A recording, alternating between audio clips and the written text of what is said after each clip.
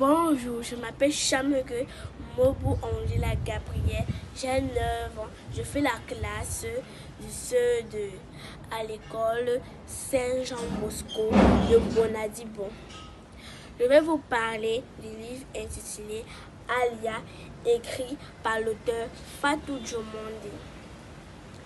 Alia est une jolie petite fille née avec une maladie au cœur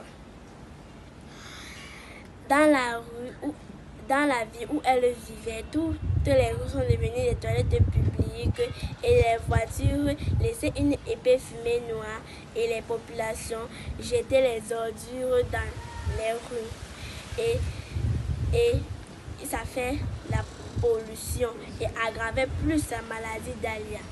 Pour aider, sa maman décide d'aller s'installer à Marana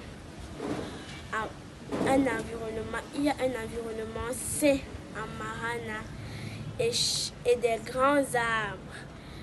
Chaque dimanche de fin du mois, il organisait, euh, il organisait une opération coup de balai. Et elle était inscrite à l'école du village et ses camarades se moquèrent d'elle. Et plus une fille de plus une camarade nommée Namboya écrit à Christelle plus Alia.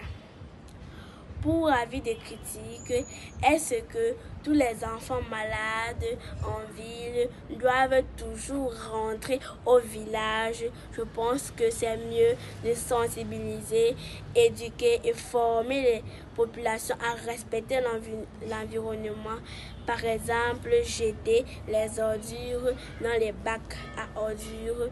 Maladie expressive est à la page 23.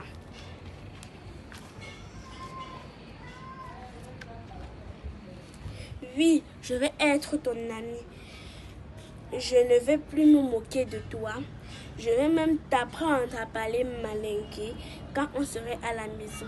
C'est vrai, merci beaucoup. Moi aussi, je vais être ton ami, lui répond heureuse Alia. Merci.